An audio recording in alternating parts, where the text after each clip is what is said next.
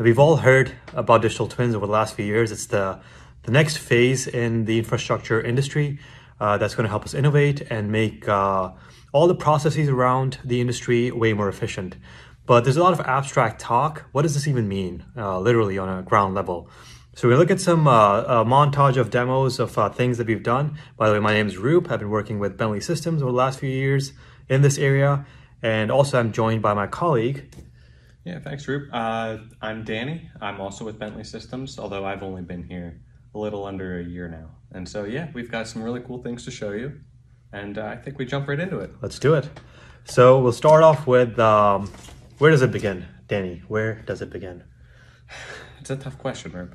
I I think we have to start with the creation of a digital twin. The creation. You know, how do you get one in the, the first genesis? Place? Yes. Yes. Uh, so uh, we have tried out many different ways over uh, the last uh, couple years especially, but the cleanest way or the quickest way to start up your digital twin is as simple as dragging and dropping your design files. We got MicroStation and Revit design files here and popping it into this uh, web portal in which uh, as soon as you do that, it kicks off what is called a synchronization process where we take data from these files, read them in and write them into uh, a cloud format of the iModel, which prepares our digital twin.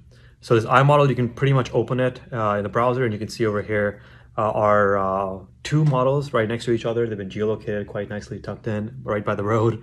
So um, that's how you can pretty much start your digital twin, nice and clean. Yeah, no, that's amazing, Roop. Um, it really was that easy. So I have a question though. What if I don't have the design files, or what if it's an asset that exists in the real world? In but, the real you know, world, like it's like a construction already, and sure, what do you do with yeah. that? Well, I guess then you're out of luck. All right. just pack it up and leave. I guess so. We're done here now.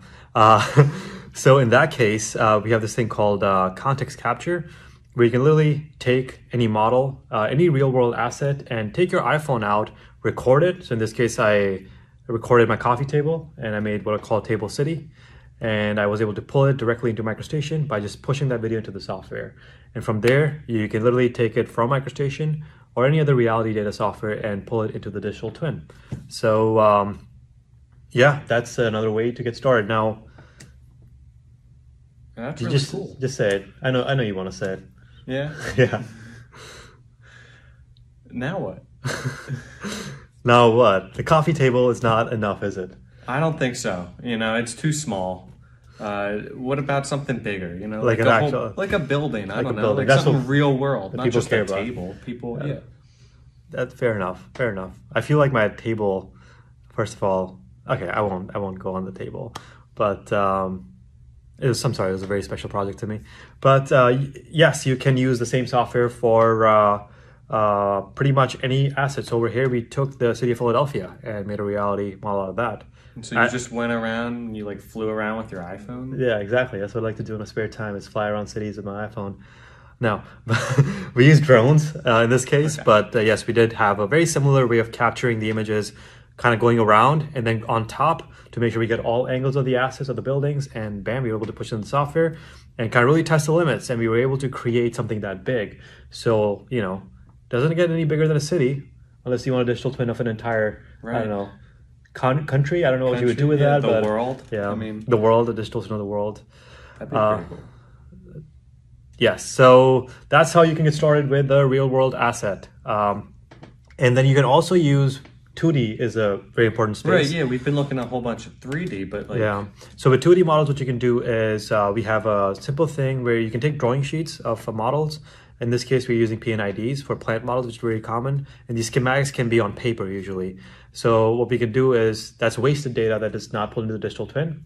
We can literally scan those images, push them into our machine learning algorithm, and from there we can generate these uh, pretty much uh, digital twin uh, ready models. We can all the different elements inside the model are categorized using machine learning, and they've been labeled correctly based on uh, the history of like what those symbols look like. So you can see. Um, uh, there are different ways, and you can also get the tag information. So you can click on a particular tag of an element and zoom right into it, as you would a digital twin. So that's yeah. amazing. I mean, it must save so much time. You know, trying to do it all by hand must take forever compared to this. Yeah, absolutely. Just send it in and Yeah. You got it. Yeah, and before this, people would have to actually redesign stuff or port their data over, which is an expensive process. So that's how you get started. And you can use all these approaches or any single of these approaches together or separately to bring together your digital twin. So that's how it starts. Uh, and we are five minutes in. They say we only have 10 minutes to talk in this presentation, so we're going to try to get as much as we can in. Uh, so let's go. All right. What now? Yeah, what do we do with it now that we have it? So many things. You can do so many things. Uh, the first thing I want to talk about is IoT. IoT is a pretty hot topic, which is taking other data sources and connecting to your digital twin to kind of build its value and show real time data, monitor assets, uh, have some operations intelligence on that. So IoT is big because uh, there's so many uh, assets out there that need some monitoring and sensors. So you can take, take these sensors and connect them directly to your digital twin. And then you can add markers, you can view the life status, you can do heat maps, uh, you can sh- show historic data. So all this cool stuff. One real real world application of this was uh, we had this uh, amazing project with Microsoft and Doosan Heavy Industries. There's a, a wind farm. Um, uh, they, they have uh, multiple businesses, but they do wind farms as well.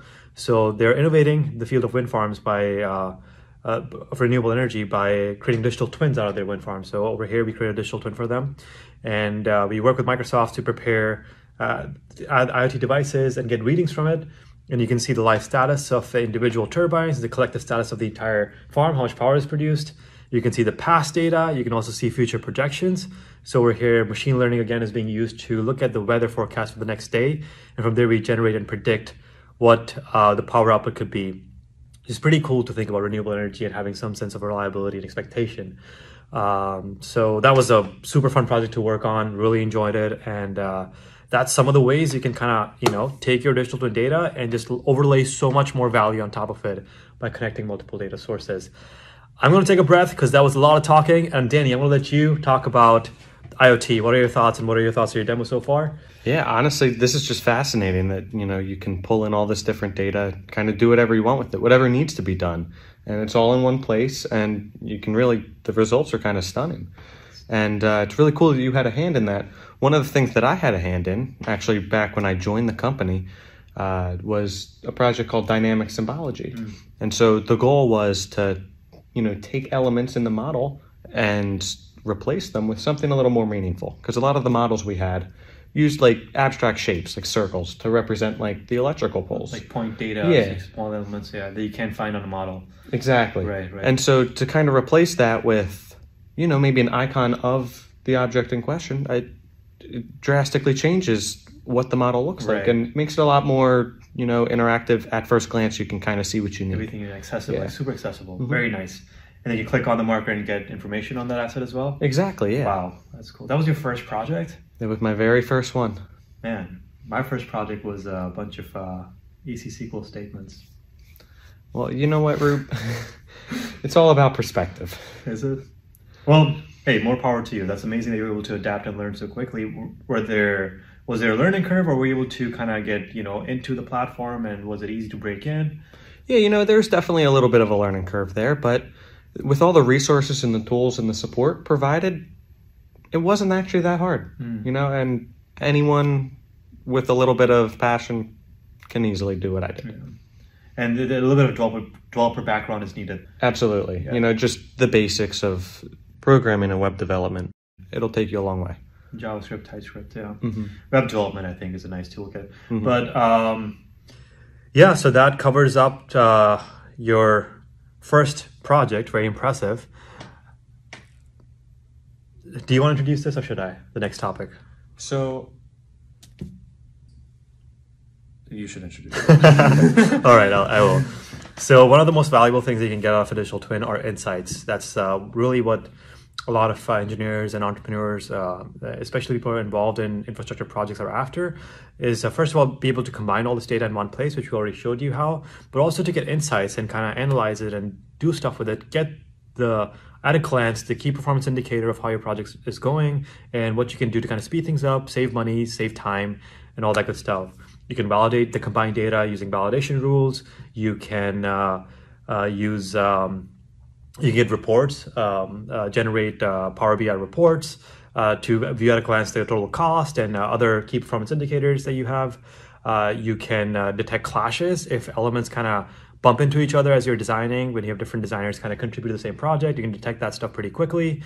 You can um, uh, look into um, issues. You can track issues, so you can have essentially like the markers that Danny showed. You can have markers that kind of uh, show you all the issues of a project. You can tag issues, and you can kind of get, get the same view that an engineer on field would have for that particular issue. Look at the history and all the attachments, images. So all this uh, information you can get at the click of a button, you know, all in your palm. So palm of your hand. That's that the the phrase that people use. I'm not from America, so I like to learn the new uh, phrases that you guys use. Mm-hmm. Um, yeah, right in the palm of your hand. Right in the palm of your hand. Yeah, there you go. So yes, you can get information right in the palm of your hand. Uh, I remember that one. So um, that's insights. And uh, one of the coolest things you can get in terms of insights is you can compare versions. You could have a model that has, uh, every time you push into your digital twin, into your iTwin, you're actually keeping track of the version history. And you can compare two versions, go back in time and see what changed in your model, what elements were added, or which elements were changed. And it's super key because it lets you, lets you look at your model, the place it's in, and kind of backtrack and see you know, where it came from. And if any issues come up, you can always backtrack and see how it got to that place. Um, almost like uh, if are programmers out there who might be watching, it's like a diff of your data. You know, when you do a code diff based on different versions of your commits, you kind of do a diff of your design data and see kind of what changed, you know, and then uh, what what was. Uh, I think that's super cool. Blows my mind every time when I think about it. Uh, exactly, my head hurts because it's blown so much thinking about it. But anyways, uh, last topic. Which one do you want to go with? I'll let you pick. All right. You know, VR is growing every day. Mm-hmm. I think that we should. They keep talking about the metaverse. Exactly. I mean, we gotta. What kind of you know impact do digital twins have in that space? Uh, well, you could. Uh, uh, I just have so many metaverse jokes in my head right now that are going through that I want to share, but I'm probably not going to. I know you guys would love to hear, but uh, uh, so with VR, what you can do is uh, with digital twins, you can um, literally walk in your digital twin. You can walk inside, you can check it out, you can uh, see it in uh, virtual reality. Uh, so we have worked with Omniverse and and uh, we've used Unity and um, game engines, other game engines as well, like Unreal. Unreal Game Engine, that's right, to um, to see how we can export data of a digital twin and be able to view it uh, within uh, virtual reality and such interfaces. And the results have been pretty mind-boggling. You can literally walk inside your digital twin. You can use different tools. Uh, you can measure dif- the distances between elements. Like so much cool stuff you can do. But the way the analogy I like to use is it's like uh, when you move into a new apartment and you think about how you're going to kind of set up your rooms, you can kind of think about it in your head, but unless you've actually done it, you don't know if you like it or not. You don't know if you know things are fit the correct way. So same thing with design, uh, with infrastructure, be it buildings, uh, uh floor plans, uh, plan of big models, whatever it is, uh, you can design it, but you can't really truly experience it unless it's been constructed. So with VR, you cannot do that. You can move ahead in time. You can see your model in reality, navigate it in person, and then from there you can start making improvements in real time. And that is just amazing. Um, that is amazing. It's one of the coolest things I've seen. Absolutely. Very neat. Uh, we are way past time. I promised 10 minutes. We're at 15. Time is a valuable asset, right? We all want to save time. And that's the that's what digital twins let you do is through these insights, through VR, through um, uh, uh, the, the version compare, through IoT, we essentially are saving time and making things easy for engineers out there that are working on these projects, for entrepreneurs who want to innovate in this field. And we're all working on it together. We're still learning new things. We're new in the space uh, of digital twins. And we are innovating uh, continuously, constantly. And we would appreciate any thoughts, feedback that you have, any questions you might have, or any ideas or projects that you're working on. Would love to hear about that as well. But ultimately, it's a community that we're working with. And uh, we consider you a part of the community, and if there are other ways in which we can help you and serve you better, we would love to hear that as well. So thank you so much for joining us. Uh, once again, my name is Roop. I'm Danny. And uh, we wish you the best on your engineering endeavors. And uh, we look forward to chatting with you. Thank you. Thanks.